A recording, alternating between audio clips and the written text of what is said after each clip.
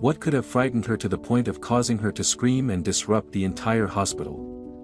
Nurse Mabin, with over two decades of nursing experience, had never encountered anything as terrifying as what she witnessed in the ward of the girl known as Sleeping Beauty. It's intriguing to note that for over 15 years, those two words succinctly encapsulated the story of our main character, Luz Maria. Fifteen years prior, Maria, at just eight years old, was discovered unconscious on a bustling sidewalk along one of the city's busiest roads. Placed in a coma and reliant on life support, her school affiliation was determined through the uniform she wore.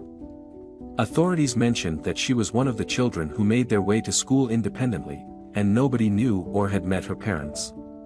Despite exhaustive attempts, every effort to locate Maria's parents proved fruitless.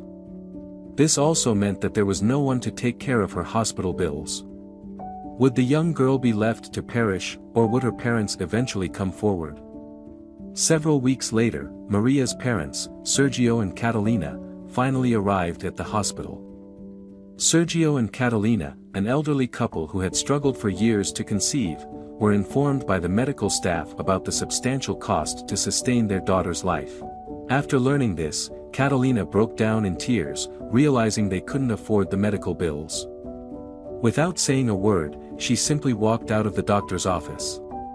Sergio made the decision to instruct the removal of Maria from the life support machine. However, everyone in the hospital had developed a strong attachment to Maria and sympathized deeply with her unfortunate circumstances. They were unwilling to witness her demise.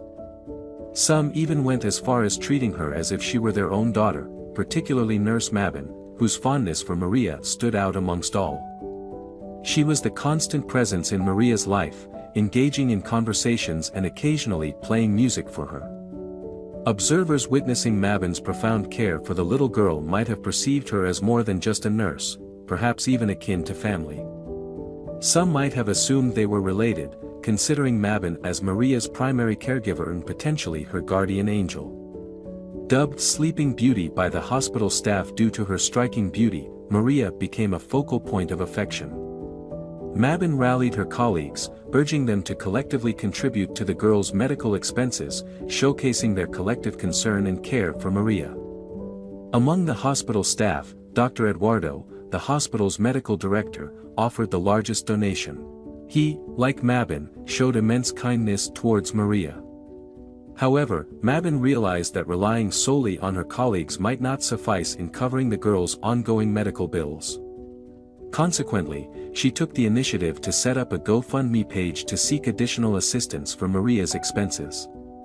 The distance between Maria's parents' home and the hospital posed a challenge for the elderly couple. Catalina expressed to Mabin, it's hard for us to be here daily for Maria. Sergio is in a wheelchair, and I can only bring him occasionally. As much as I want to stay by my daughter's side, it takes a toll on my health. You already feel like her second mother. Could you take care of her for me? I'll make sure to visit once or twice every week. Mabin agreed, feeling honored to take on the responsibility of caring for Maria. Several months later, Catalina passed away. Her daughter, Maria, had now been in a coma for over 14 years, causing many to lose hope of her ever regaining consciousness. Amidst this despair, Sergio and Mabin remained the sole optimists. Maria, no longer a child, had grown into a beautiful woman while in a state of unconsciousness. However, she had missed experiencing her teenage years, never attending high school or participating in a prom. If and when she woke up, Maria would find herself a stranger in her own body, navigating a new world without her mother and bearing responsibilities far beyond what was expected of a young woman. She would exist as an eight-year-old within the body of a young adult. This became the new reality that Sleeping Beauty was confronted with. One day, while en route to work, Mabin was involved in a severe accident that left her in a wheelchair. Doctors predicted a lengthy recovery period. With Mabin unable to care for Maria, the responsibility fell upon Dr. Eduardo. After some time, a nurse informed Dr. Eduardo that Maria had shown signs of irregular menstruation. Upon conducting tests, the physician assured that it was not a cause for alarm. Mabin felt restless when away from Maria's side.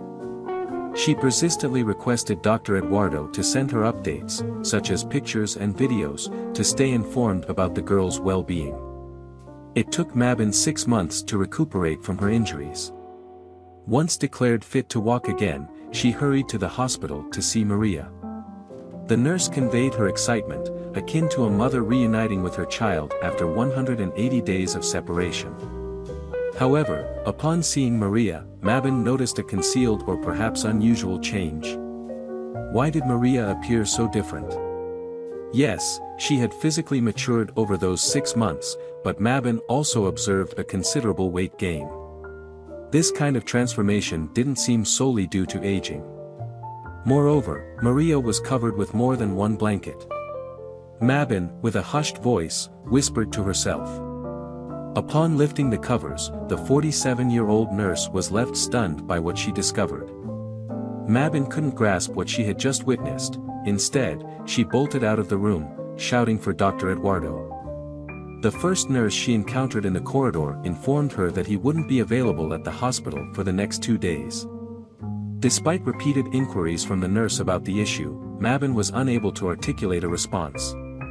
Instead, she pulled the nurse into Maria's ward to witness what she had seen.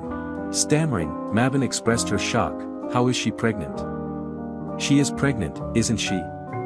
Her stomach looks slightly bigger, and she's gained weight, so she has to be pregnant. Other nurses and doctors had also gathered in the room. One of them clarified that they had noticed changes, but Dr. Eduardo had conducted tests that indicated otherwise. However, Mabin insisted on conducting new tests to ensure that nothing had changed. The subsequent test results confirmed her fears, Maria was indeed pregnant, except this Maria didn't have the same circumstances as the mother of Jesus. Someone had taken advantage of her. An internal investigation was recommended, although Mabin disagreed. When Sergio was informed about the situation, he was furious and involved the police. Two months later, Maria's baby girl was delivered via C-section, initiating a search for the father. Every male employee in the hospital underwent DNA tests as part of the investigation. The test results uncovered Dr. Eduardo as the father of Maria's daughter. Exploiting his position, he ensured that any attempts to expose him failed. Nurses revealed that he often handled the tests whenever suspicions arose, seemingly manipulating the situation to evade detection. If Dr. Eduardo had been present upon Mabin's return, he would have likely thwarted her efforts.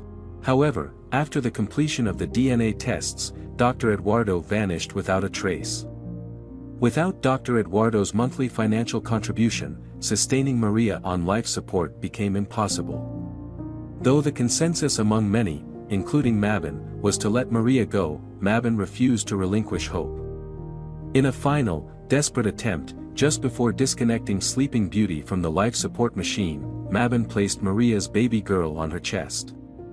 Initially crying inconsolably, the baby eventually found peace on her mother's body. It seemed as if Maria's presence calmed the storm within her daughter. With bated breath, Sergio, Mabin, and most of the hospital staff watched, hoping for a miracle after 15 years. They yearned for a miracle, otherwise, this might mark the tragic end of Maria's life. However, some stories don't unfold as desired. After waiting several anxious minutes, the anticipated miracle failed to manifest. Mabin stood in a corner of the hospital, unable to contain her tears despite her efforts. Another nurse gently picked up the now sleeping baby, and as everyone resigned themselves to fate, the infant's cry pierced the air. It was at that moment that something extraordinary occurred. Like the mythical phoenix rising from the ashes, after over 5,400 days, Maria opened her eyes for the first time. Her solitary word was, water. Though Maria's life would undergo profound changes, Sergio was overjoyed to have his daughter back. Similarly, Mabin, who had been an integral part of Maria's life, could now also be deemed Sleeping Beauty's mother. The journey of Mabin and Maria is a testament to hope and resilience. It's a narrative of unwavering dedication and the unbreakable human spirit. Until next time, stay safe. Next, let's enjoy another wonderful story. Hello, welcome to the channel, enjoy watching. The hospital room carried the scent of chlorine mingled with the delicate fragrance of white roses. Miguel Gomez, with care, arranged the fresh blooms in a tall glass vase on the bedside table next to his wife, Marta, who lay on the hospital bed. She was in a deep coma caused by an enlarged brain tumor, her life now reliant on the skilled hands of the doctors at the esteemed hospital. Marta, a young woman of 25, had been rushed in urgently only a few hours earlier. On his 29th birthday, Miguel gazed at his wife, a facade of sorrow etched on his face, pretending to be the devoted husband. He tenderly clasped Marta's fingers, cautiously surveying the room to ensure their privacy remained undisturbed. Leaning in close to Marta's ear, he whispered softly. Oh, Marta, your birthday gift is beyond anything I could have imagined. Thank you. At that moment, the door creaked open, and a man swiftly entered, immediately adopting the posture of a grief-stricken spouse. He knelt by the bed, feigning sobs. My darling, my precious girl. How could this happen? Why, God, why? Miguel buried his face in his sleeve, feigning anguish and sorrow. Mr. Miguel Gomez, I apologize for the interruption, but there are some papers regarding your wife's hospital stay that require your signature, said the intruding figure, attempting to redirect attention. The doctor caring for Marta gently touched her husband's shoulder, attempting to console him. Miguel slowly turned around, discreetly wiping his eyes to create a teary appearance. Doctor, please tell me the truth. How is she, he pleaded. The surgeon, a bit puzzled, responded cautiously, avoiding intricate medical details, your wife's condition is currently stable but serious.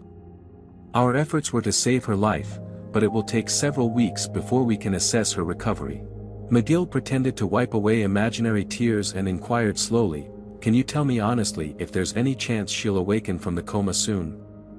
I need to prepare for the worst. Drawing up legal documents at this stage might be premature, replied the doctor. We cannot predict the future. Rushing into such decisions isn't advisable. Why plan for her demise already, Mr. Gomez? the doctor asked, eyeing him suspiciously.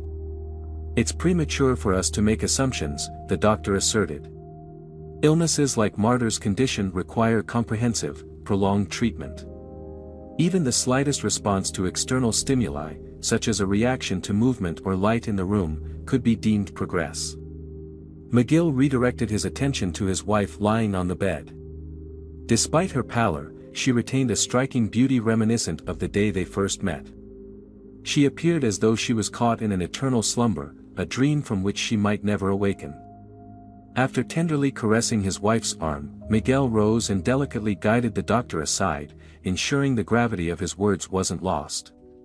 So, you're implying that the likelihood of my wife emerging from her coma within the next year, fully functional, is nearly non-existent. Am I understanding you correctly? Miguel questioned the surgeon seriously. The doctor hesitated, displaying a hint of vulnerability that Miguel keenly observed, the nervous twitch at the corner of his mouth, the trembling of his hands, and the sweat on his forehead affirmed Miguel's interpretation. Well, the chances aren't absolute zero, but they are indeed slim, the surgeon reluctantly admitted, his gaze shifting uncomfortably. Recognizing the doctor's vulnerability, Miguel decided to leverage it to exert pressure. He had heard rumors circulating in the hospital about the chief surgeon's after-hours habits, indulging in alcohol or engaging in card games with emergency department colleagues to manage stress. Having spent considerable time with his wife, Miguel had learned much about such sensitive matters. Now, he aimed to uncover the price for a favorable outcome. Doctor, can I ask for your assistance in keeping my wife in a coma? Not for an extended duration, just a few months initially. Then, I'll proceed to sign the papers to withdraw life support, Miguel propositioned the surgeon, struggling to articulate his request.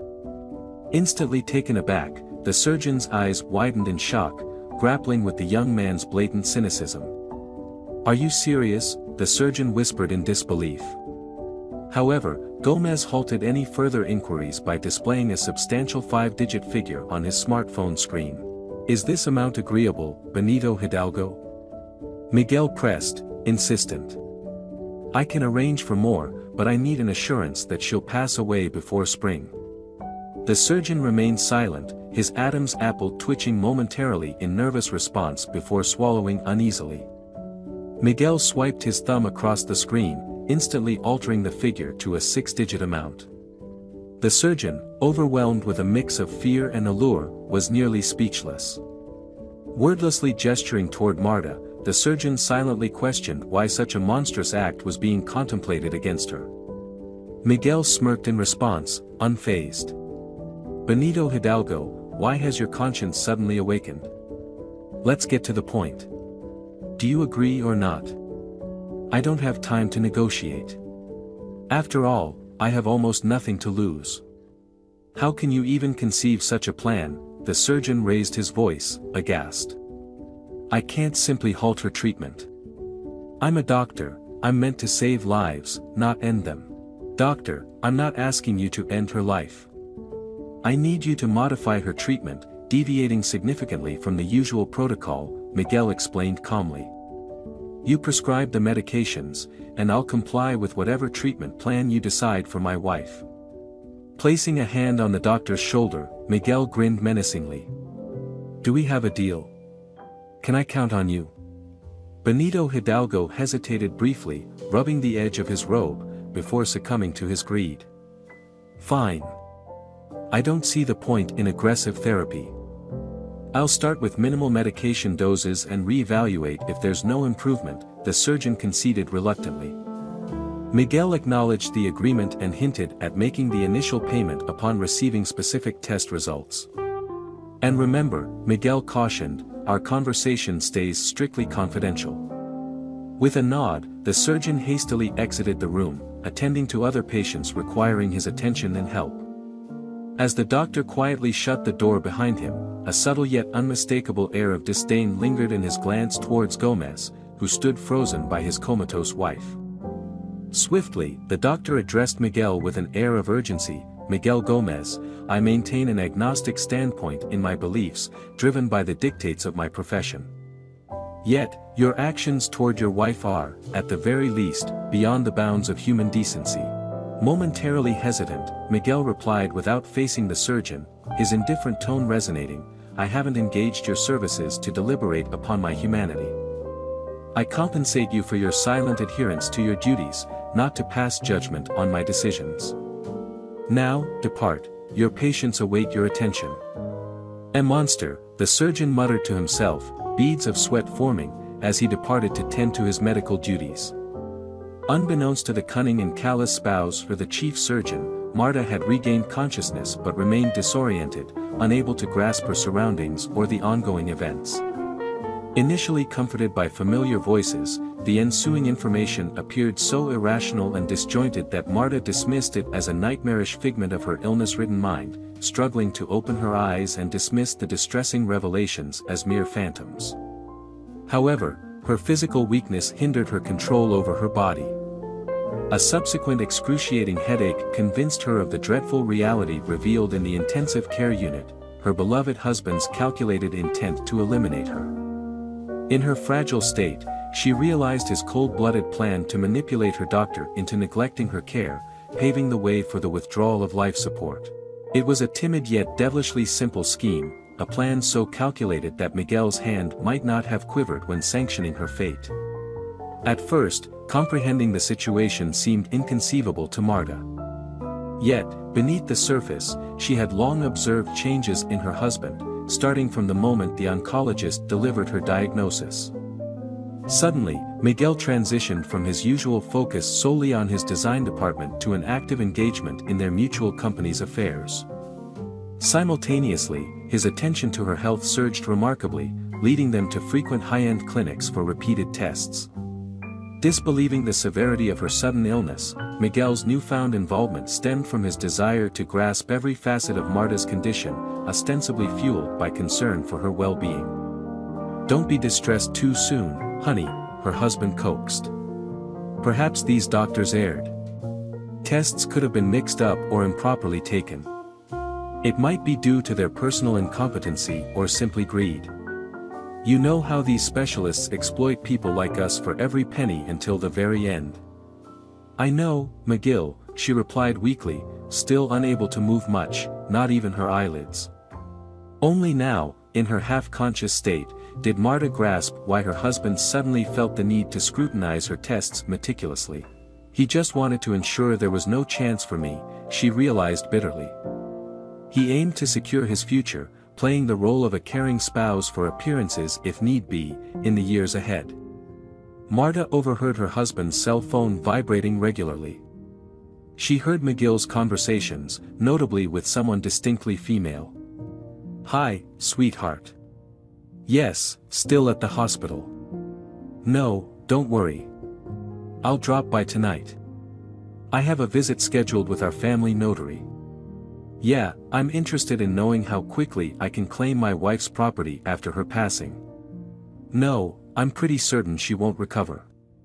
Yes, in a coma. This isn't a jest anymore. Marta felt an intense surge of fiery rage and anger swelling within her. Suddenly, she sensed a metallic tang in her mouth, the taste of her own blood, perhaps from inadvertently biting her cheek as she tried to move her tongue and clench her teeth, a subconscious action reminding her of her vitality and resolve. Meanwhile, her husband continued, whispering affectionate words to his mistress over the phone.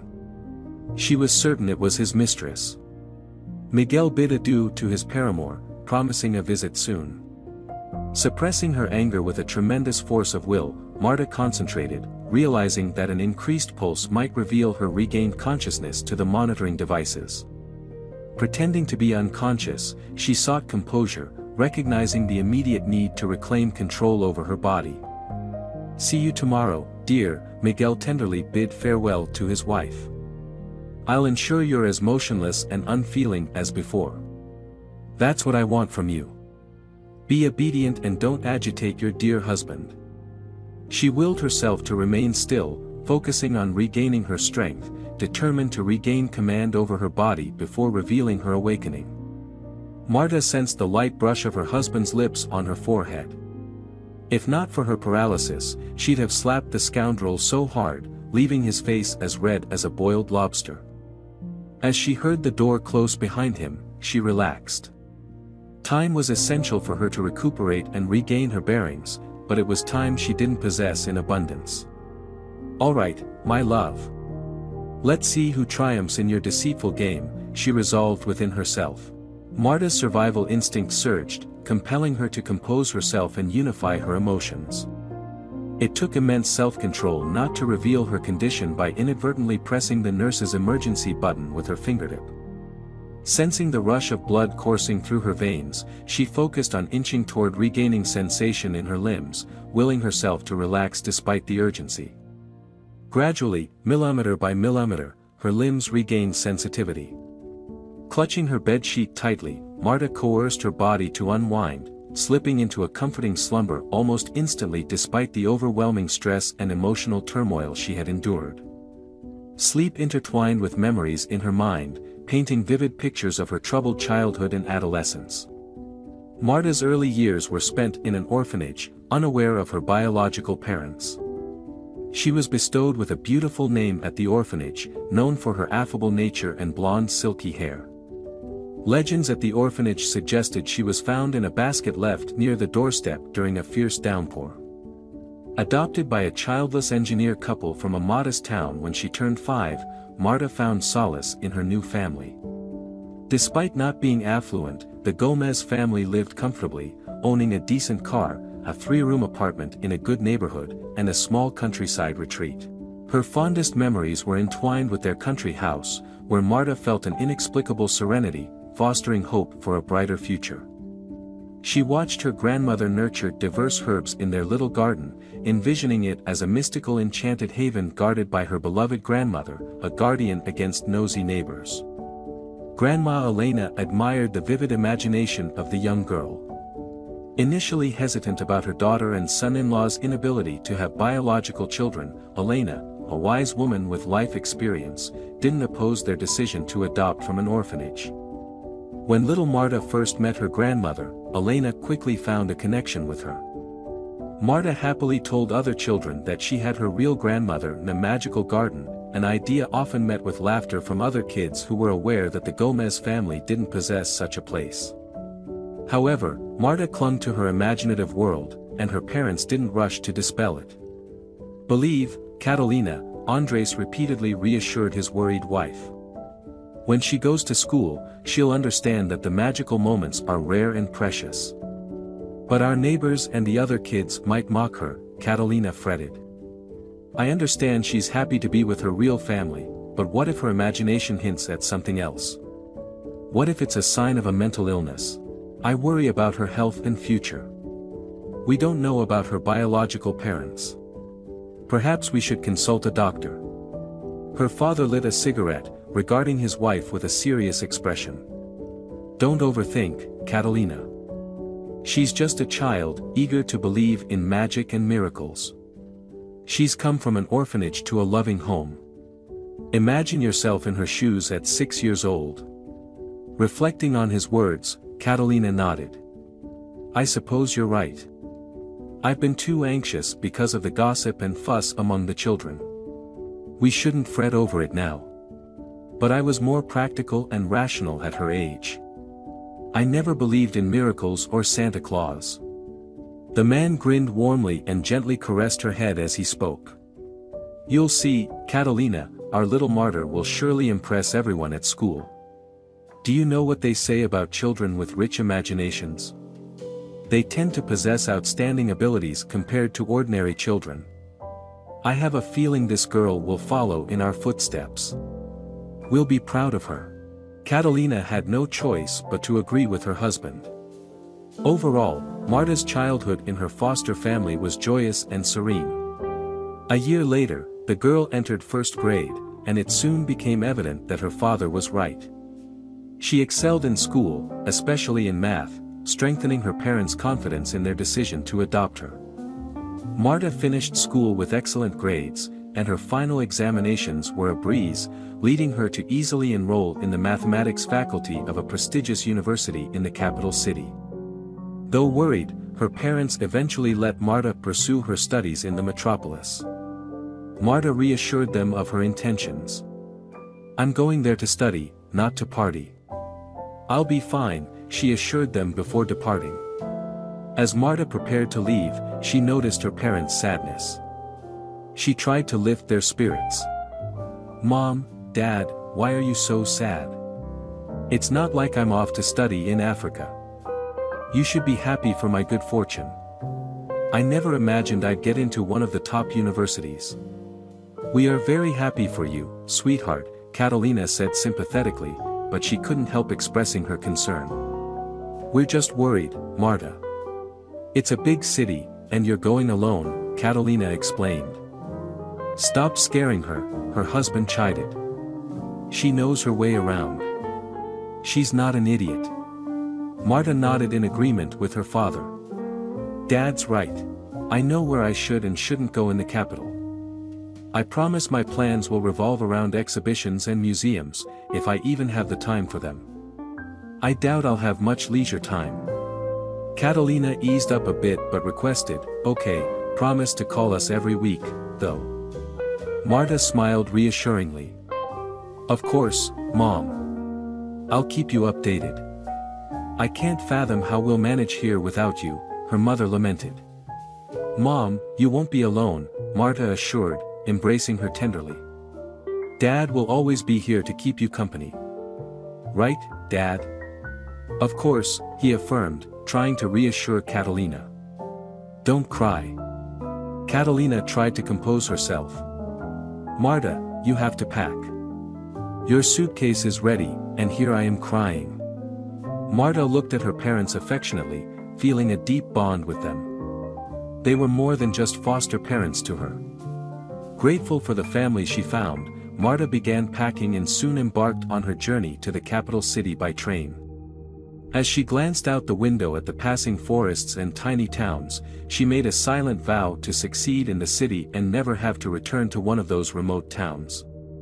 I'll make my parents proud, she promised herself.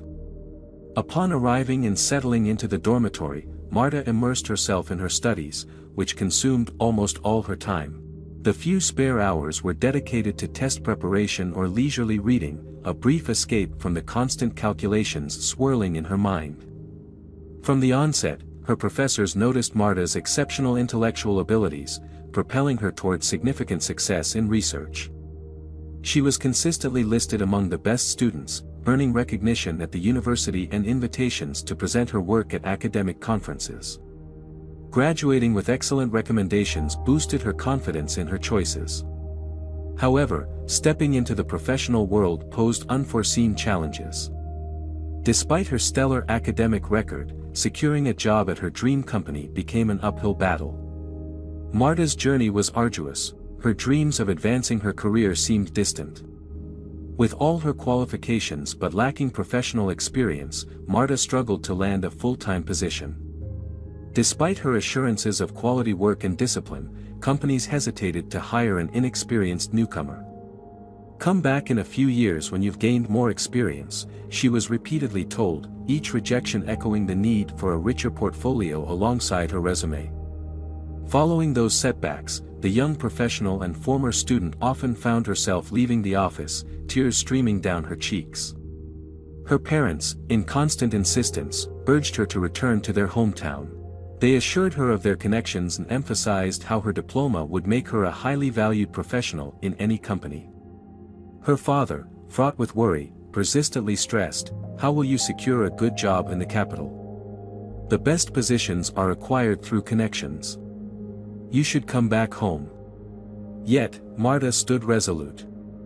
I can't abandon my dream, Dad, she expressed to Andres during their weekly phone call. If I return now, I'll be breaking the most important promise I made to myself years ago, for a reason. Her parents, albeit sighing in dismay, failed to grasp their daughter's unyielding desire to conquer the bustling metropolis. Despite their reservations about her choices, they respected Marta's determination to remain in the capital. In the interim, she grappled with the financial obligations of her rented room. Having recently moved out of the dormitory after graduating, Marta found her savings from scholarships dwindling. Reluctant to burden her struggling parents, she grappled with the realization that her remaining funds scarcely covered next month's rent. With urgency pressing upon her, Marta scaled back her aspirations and sought employment that wouldn't be hindered by her lack of engineering field experience. After weeks of fruitless job hunting and interviews, she eventually landed an opportunity at a small company specializing in construction equipment. They offered her an internship, potentially leading to permanent employment pending the director's assessment of her performance. Marta eagerly embraced this chance. This job not only ensured her rent and sustenance but also allowed her to stash away some savings monthly. Wanting to alleviate her parents' concerns, she dutifully sent part of her earnings to them, aiming to provide them with financial security. Through diligence, Marta ascended to the role of senior sales manager. Her education empowered her negotiation skills, while her mastery of technical jargon bolstered her credibility with the company's partners. After two years in this position, she propelled the small company to a regional level, attracting orders from across the country. However, a surprise awaited her. The director, on the brink of retirement, hinted at the imminent purchase of the company by larger business entities. These corporate sharks, intrigued by the sudden success of the small firm in the capital, expressed interest in acquisition. However, the director was not inclined to relinquish the company without a strategic plan. Instead, he made an unexpected move by entrusting Marta with the entire company's stake, appointing her as the CEO. This abrupt turn of events left Marta utterly stunned. Gonzalo, I'm struggling to comprehend this, Marta expressed, her disbelief evident. Are you proposing to hand over the entire company along with the CEO position to me? Why? This company means as much to you as your own child, doesn't it? Please, Marta, try to stay calm, the director responded with unwavering resolve. All the necessary paperwork has been meticulously prepared. You only need to sign it. I firmly believe that the company will be in capable hands. I trust that you won't allow it to falter, especially once we finalized the merger with them. But what if we don't merge? Marta persisted. They can't coerce us into it. We have a choice whether to join their conglomerate or not. Gonzalo, his brows furrowed, emphasized the significance of the deal, stating, Marta, we cannot afford to miss this opportunity. We've invested considerable time in establishing collaboration with such a powerful industrial giant. We need their financial backing, otherwise, we'll be confined to menial tasks, fading into obscurity. A merger with another company would significantly elevate us, providing a consistent flow of orders from global giants. Though I never had children, Gonzalo continued earnestly, you've achieved the unthinkable with my company. I want you to continue steering it forward. Trust me, it's better for everyone. Please, don't argue with me. I'm too old to repeatedly explain my decisions. Try to accept it as an inevitable outcome. Marta, though taken aback, acquiesced to Gonzalo's wishes. Alright, Gonzalo. I'll accept it as you wish. But leading this company is a tremendous honor for me. I promise I won't let you down. The director nodded contentedly, making a note in his leather diary. Excellent. I'll require the annual report for the previous operational period of the company, he requested. I need to review some figures before fully entrusting the management to you. A few days later, Marta ascended to the position of CEO within the company.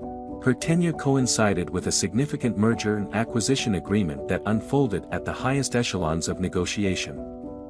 Marta, showcasing her acumen, secured highly favorable terms from the new business partners.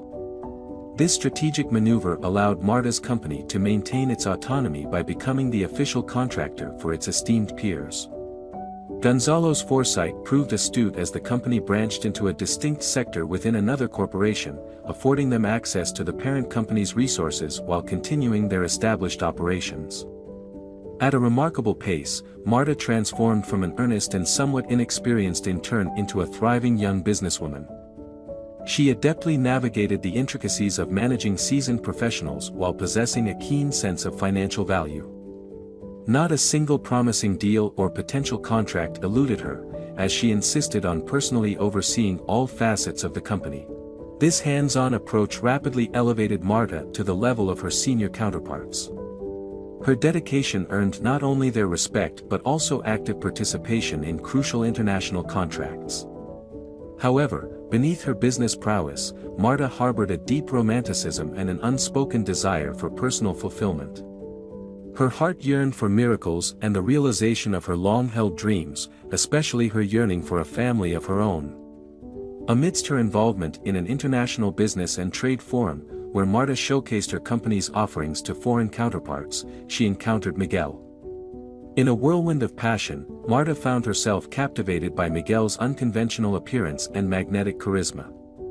He possessed a tall, muscular physique, jet black hair contrasting with pale skin, and entrancing deep blue eyes, reminiscent of the fairy tale prince she had often envisioned in her childhood dreams. Their connection was instant as they found common ground and engaging conversation topics, setting the stage for a potential unfolding of something more profound between the two young individuals. It emerged that Gomez worked as the chief designer in one of the prominent architectural firms within the city. However, he had long harbored aspirations of securing a position at Marta's company, recognizing better career prospects there. How lucky I am to have met you, Marta, Sid, with a laugh, remarked. We're actually in search of a new head for the design department at my company.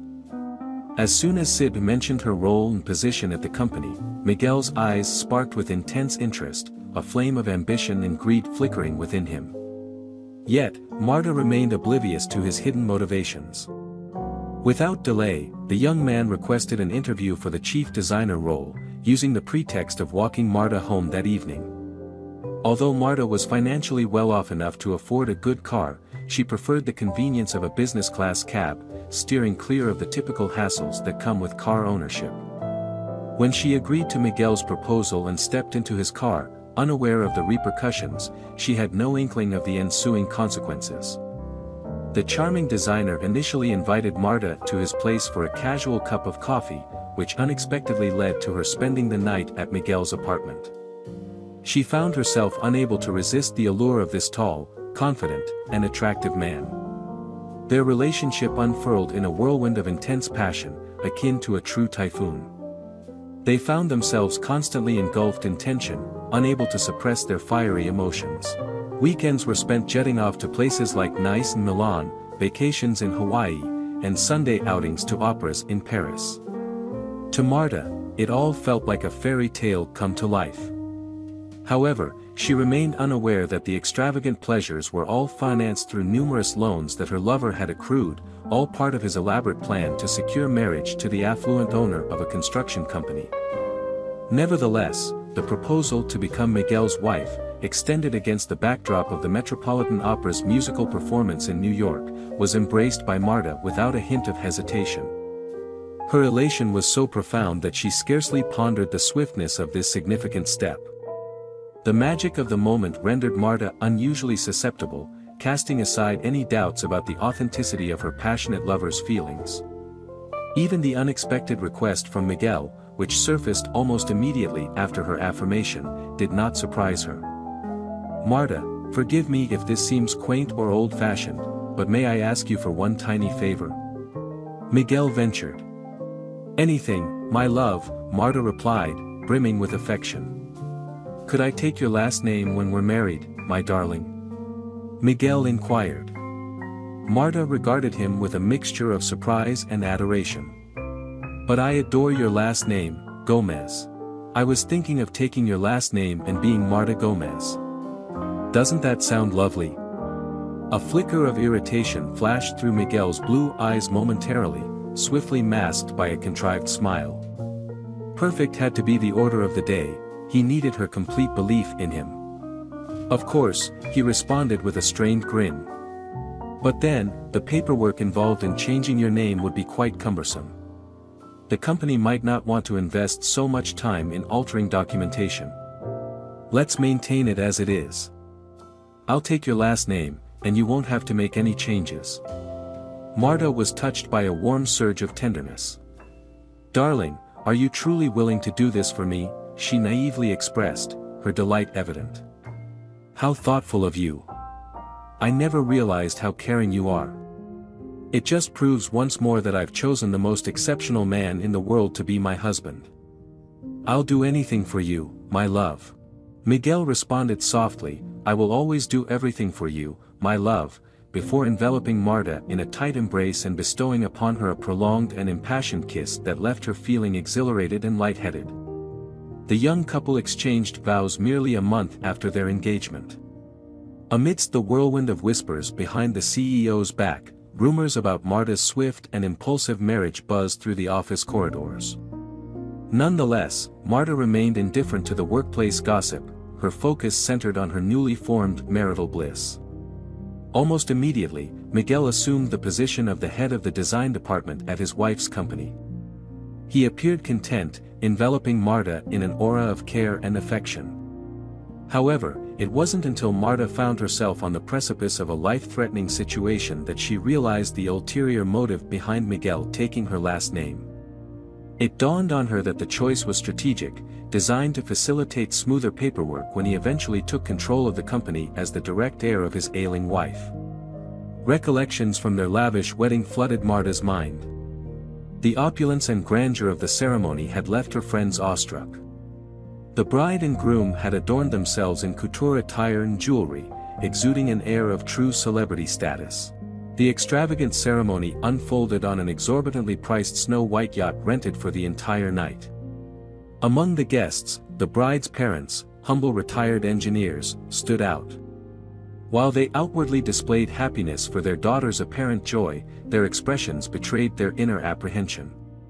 They harbored doubts about Miguel being the ideal match for their independent and accomplished daughter. In a private moment during the festivities, Marta's father, Andres, took her aside, expressing his concerns in hushed tones. Marta, sweetheart, are you certain that the man you married this morning is deserving of you? he inquired softly. Perplexed, Marta looked at her father with suspicion, defending her husband. Of course, Dad.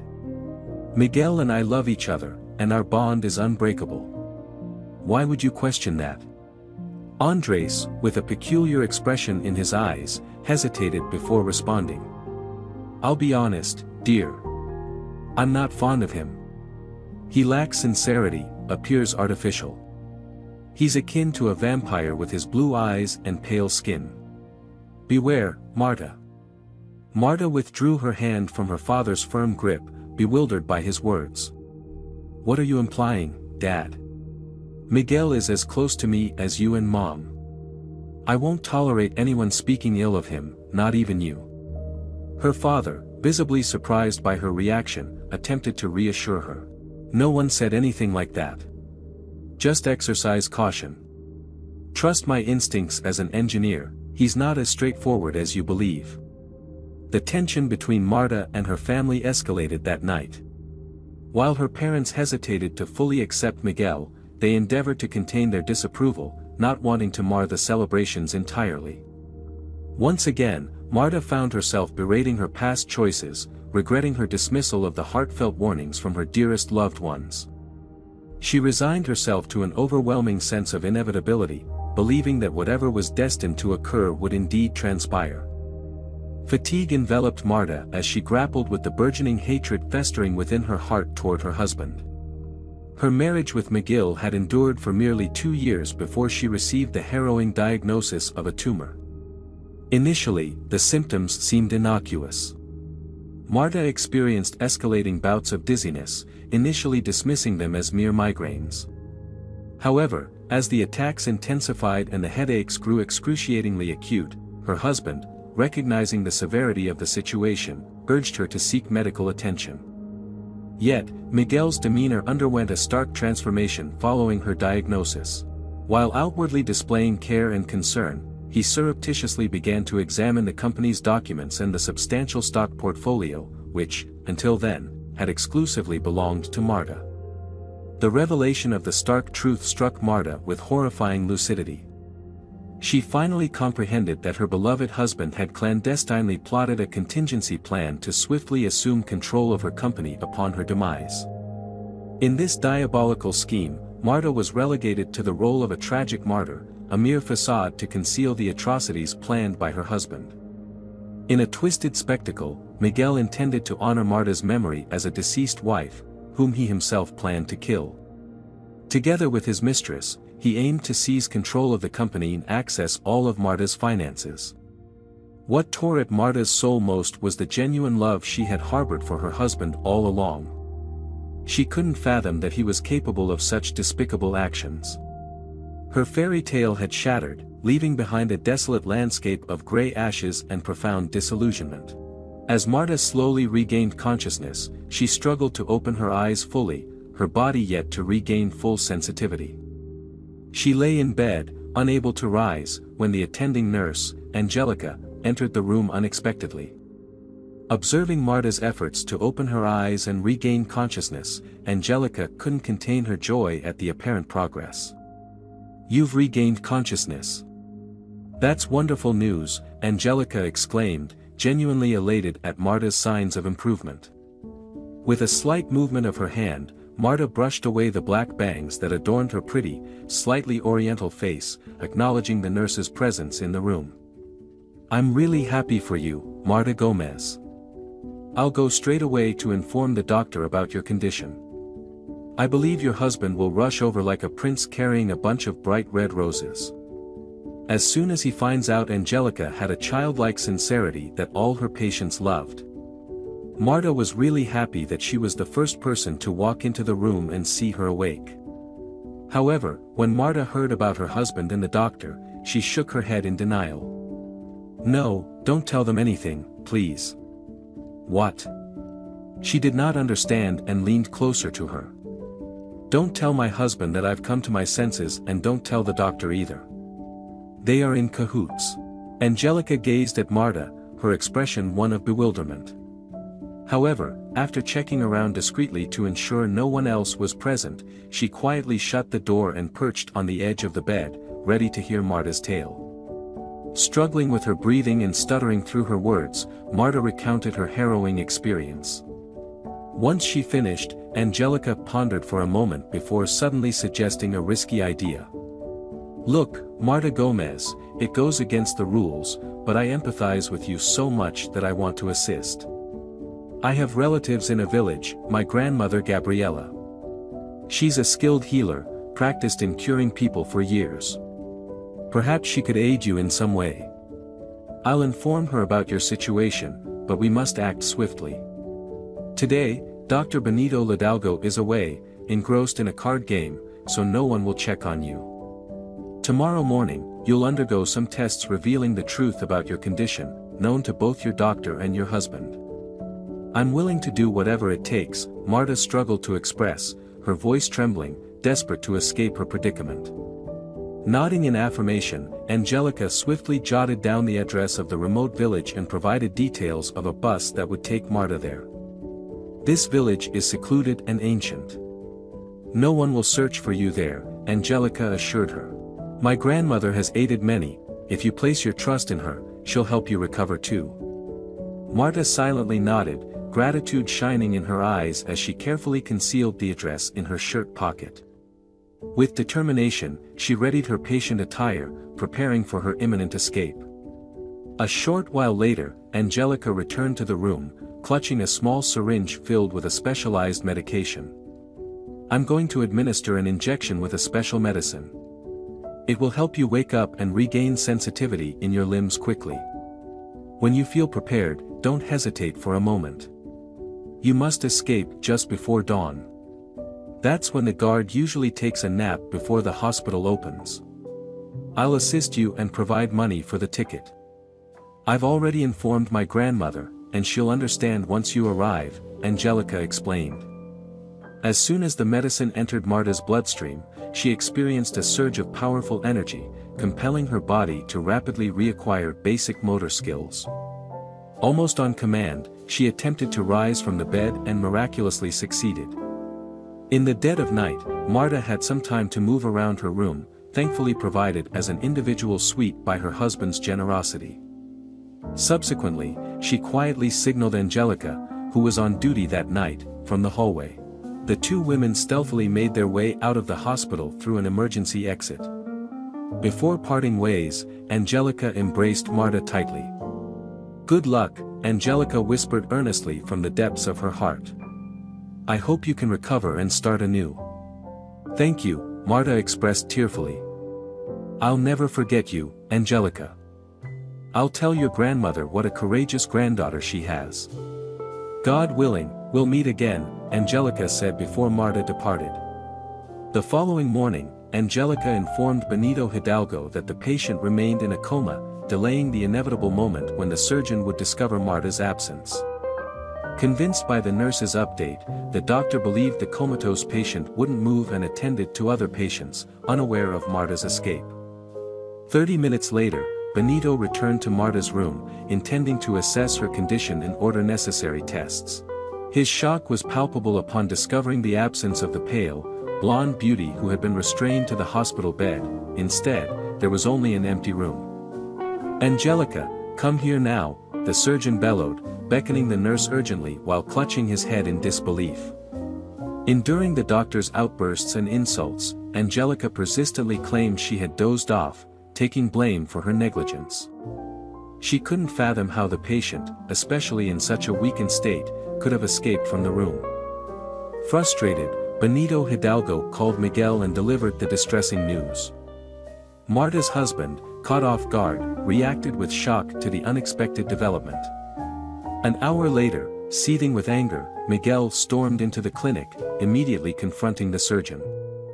He grabbed the doctor by the shoulders and violently shook him, his frustration evident. You liar. Who assured me she wouldn't recover? Who swore she wouldn't get better? Where's my wife? Miguel demanded, his grip on the doctor unrelenting. Attempting to protect his reputation and income, the confused surgeon resorted to cunning tactics. Calm down, Miguel Gomez. It's a force majeure situation. No one knows how your wife managed to escape, but she won't get far. Trust my medical experience, the surgeon claimed, trying to allay Miguel's fury. What do you mean? Miguel growled, refusing to release his hold on the doctor. I mean her diagnosis and condition. Prepare the inheritance documents, she has a month, maybe less, Benito Hidalgo explained with a wicked grin, his hands gesturing in an apologetic manner.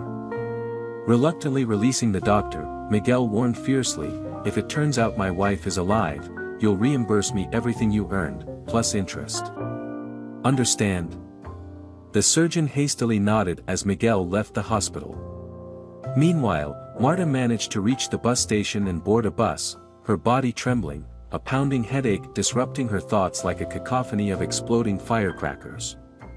Upon being dropped off at the designated stop, Marta felt as though she couldn't endure any more, it seemed she might collapse right there in the grass and drift into an eternal slumber. Summoning the last of her strength, Marta staggered towards the witch doctor's house, slumping down before the door. Exhausted, she lacked even the energy to knock.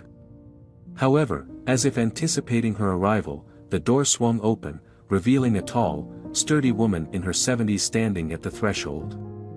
Her snow-white hair was neatly covered by a dark kerchief, and her stern countenance exuded nothing but serenity and understanding. So, you made it after all. I was almost ready to venture into the woods to find you, the old woman remarked, ushering Marta inside and gently placing her on a white bed adorned with fresh linens. Gabriella ran her hands over Marta's head as the latter lay unconscious, drawing a solemn conclusion. I'll have quite a task with you. Angelica shared everything about you and your husband, the demon who drinks your life away, Gabriella stated firmly. But he'll face the consequences for all he's done. God sees everything. We'll overcome this, my dear. Stay strong and patient. As Marta began to regain consciousness, all she could plea was, don't hand me over to him, I beg you. Angelica said you could help. I can indeed help, Gabriella affirmed. But my aid will be futile unless you believe in your own healing and in finding God within your heart.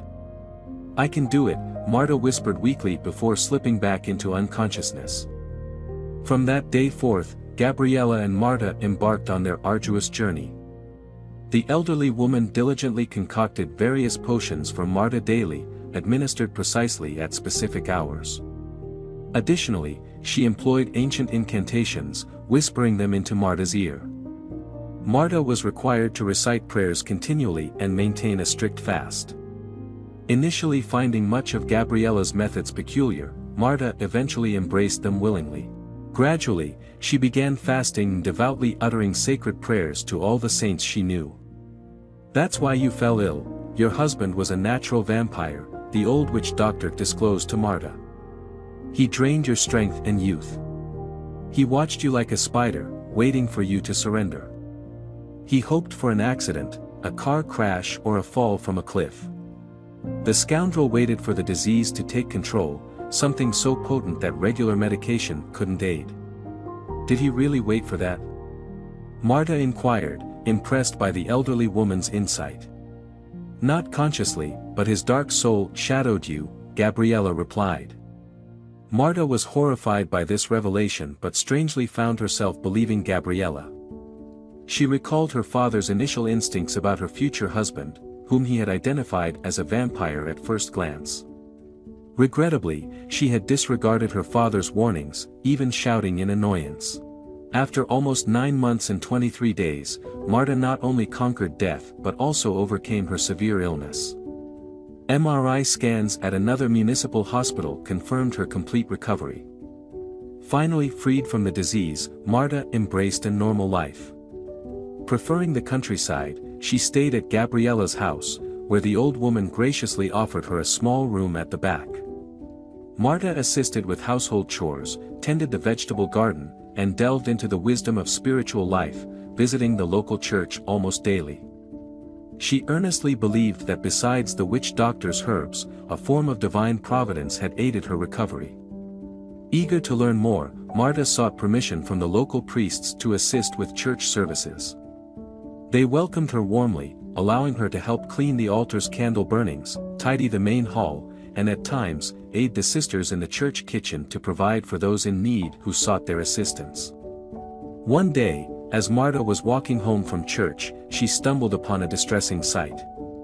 A young boy, about three or four years old, was attempting to flee from a skinny, intoxicated woman who pursued him menacingly, wielding a large and fearsome-looking rolling pin. Come here, you little, why'd you break my vodka? You're in trouble now, the slurring woman yelled, causing the boy to run as fast as he could. But his efforts were in vain as he stumbled and collapsed into the yellowed grass, crying loudly. Stop it. What are you doing? Marta intervened indignantly, shielding the child from his drunken mother. He's your son. How can you dare to hit him? The woman momentarily froze, eyeing Marta's long skirt and modest, light-colored kerchief that covered her head. Are you one of those? Well, a nun, she asked with a slurred voice. Not exactly. What then? Marta inquired, holding the frightened child securely in her arms, meeting the woman's gaze boldly. The woman's eyes shifted from understanding to anger and resentment. If you're not one of them, you shouldn't meddle with someone else's child. Where did you come from anyway? I haven't seen you here before. She's with me, Guinness. Don't touch her, Gabriella intervened abruptly, appearing seemingly out of nowhere in this small female gathering. Giving the skinny woman a stern look, Gabriella reproached her. You're drunk again, Ines. Does your husband know what you're doing while he works hard to provide for you? You have no idea how tough it is to work in the north. The witch doctor's dark green eyes bore into the drunken mother, as if imploring her to recognize her maternal instincts and conscience. Why did he break my bottle? The woman attempted to change the subject, pointing an accusatory finger at Marta. This weird girl came out of nowhere, trying to tell me how to live my life. You should have your own baby first and then teach others how to live. No, I'm not giving the baby to that woman, Marta firmly stated to Gabriella. When his father returns, then we'll see. This is absurd. Ina exclaimed, attempting to snatch the boy from Marta's arms. However, Marta skillfully resisted, preventing Ina from taking the child. I'll go to the police and file a report. They'll arrest you quickly, damned witches. Ina yelled before storming off, heading towards the post office, which happened to be in the direction of the police station. I wonder what you intend to do with the baby, the old woman asked with a sly squint. I don't have the proper conditions for a baby. You have to take care of him yourself, Marta replied. Do you even know how? I'll learn, Marta answered confidently, then began singing to suit the crying boy. Implying a subtle challenge, the old woman muttered, well, well, learn, and followed Marta with a slight chuckle. True to her word, Marta took care of baby Enrique until his father, Ramon, returned from his demanding job up north. Unaware of his wife's excessive drinking and infidelity during his absence, Ramon visited Gabriella's house to collect his son and express gratitude to Marta for looking after him. Ramon, a tall and sturdy man, immediately took a liking to the young blonde girl with a mysterious past. However, Gabriella warned him that Marta was married and advised him to wait until she divorced her husband, the vampire. Acting swiftly, Ramon initiated divorce proceedings, quickly severing Marta's parental rights. Despite Ness's hysterical outbursts and threats of curses directed at Gabriella and Marta in court, the judge ruled in favor of granting full custody of the boy to his father, declaring Ness's lifestyle to be immoral. Following their growing friendship, Ramon proposed officially dating Marta without concern for the judgmental neighbors. She was keen, but a lingering problem in the city held her back from entering a new relationship. I know you're married, Ramon acknowledged, what's stopping you from divorcing that monster? I'll wait for you. Forever, if needed. So will Enrique. You'll make a great mother to him. You're closer to him than his biological mother. Ramon clenched his fist, expressing his disdain for his ex-wife's disruptive influence. She's ruined our lives for too long. Thankfully, she has no right to approach Enrique now. I really want to be with you and Enrique. I swear, Marta crossed herself three times, but it's not as simple as you think. If I could just come to my husband, I would have filed for divorce long ago, but there's a different story. The man nodded understandingly, Ramon assured the girl that he would wait for her and that he believed they would be together no matter what. Marta, if necessary, I can talk to your husband, Ramon offered. I'll handle it discreetly so no one finds out. The man joked Smiln. Though grateful, Marta politely declined. She appreciated Ramon's readiness to protect her, unlike her ex-husband's fatal passion. Ramon's reliability and kindness were endearing, covering her with a sense of comfort whenever she looked at him. Meanwhile, Miguel, now officially widowed and in control of Marta's company, struggled with the managerial responsibilities. Despite being a designer by profession, he took charge, leading the company to suffer significant losses. Miguel, choosing not to fret over it, delegated most responsibilities to his deputies, neglecting the company's welfare. Amidst Miguel's indulgence with his mistress, Adela, spending the money Marta had earnestly earned, Marta relished her peaceful life in the village with Enrique and Ramon, finding new meaning in her days. Yet, the lingering sorrow was the neglected state of their old church, desperately in need of renovation, lacking sufficient funds. For the first time since her escape, Marta pondered about her company's state and the account she had entrusted with money transfers. Fate offered her the chance to uncover the truth sooner than expected. Ramon departed on a business trip, leaving Enrique under Marta's care. The boy, now openly calling her mom in public without hesitation, accompanied her to the post office. Marta queued up to collect a package containing candles for the church, purchased with parishioners' donations. Amidst the free magazines, a colorful society magazine caught her eye, bearing the stunning news of Miguel Gomez, the multimillionaire, set to marry his fiancée Adela that weekend. Feeling a pang of despair, Marta gazed at their picture, the couple appearing joyous. Yet, she couldn't expect otherwise, they lived off her money. This moment was decisive for Marta.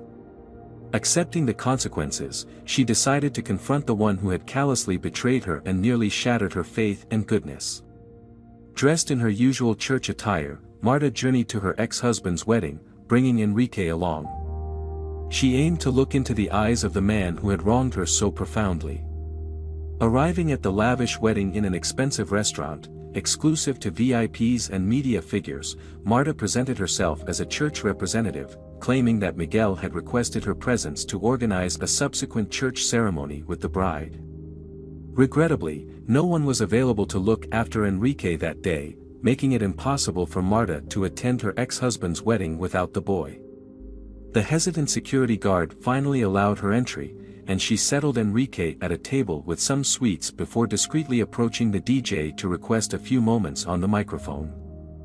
I'd like to extend my congratulations to the newlyweds, Marta said with a serene smile. Surprised, the DJ handed the microphone to the poised nun, and the guests grew curious about the unexpected greeting. Turning towards her ex-husband and his new bride, Marta spoke clearly into the microphone, her voice carrying across the room. Well, Miguel, are you enjoying a comfortable life with money that isn't rightfully yours? You've chosen a stunning bride, she's the same girl you were speaking to on the phone in the hospital while your wife was suffering, chained to the bed. Miguel and Adela stared at Marta in sheer horror as she vividly recounted the betrayal inflicted upon her by her ex-husband and his mistress. The guests were left in stunned silence, unsure if the church representative was speaking the truth or if she had lost her sanity. One thing was certain, the wedding was irreparably marred. Marta.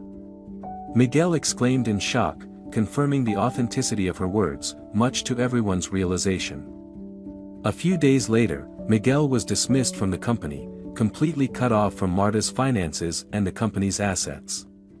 Consumed by shame, he had no choice but to depart the country with his mistress, taking what little money he had withdrawn from the accounts. Marta reclaimed her true identity and promptly initiated divorce proceedings, vowing never to associate with him again. Using her remaining funds, she embarked on a noble mission, constructing a new church in the village. Collaborating with sisters and monks from a nearby monastery, they repurposed the old church into a haven for the ailing and homeless, offering essential aid, meals, and temporary refuge. Adjacent to the new church, Marta established a specialized hospital catering to those who, like her, had lost faith in conventional healing methods. Here, a fusion of ancient homeopathy and modern medical advancements, intertwined with spiritual practices, provided holistic care for those in need. Marta's groundbreaking therapeutic approach worked wonders, instilling newfound confidence in individuals and activating their latent inner strength, tapping into the hidden reserves within their bodies. Its success stories traveled far and wide, transcending neighboring towns and villages, drawing suffering souls from across the country seeking solace in Marta's progressive therapy. Now residing together in tranquility, Marta and Ramon embraced their future plans. The couple eagerly looked forward to their impending wedding, marking a union sealed by love. Amidst this joyous anticipation, Marta, deeply in love with Ramon, anticipated the arrival of their child, nurturing Enrique with boundless affection. Marta's parents, finally visiting them, wholeheartedly blessed their daughter's decisions and witnessed her contentment.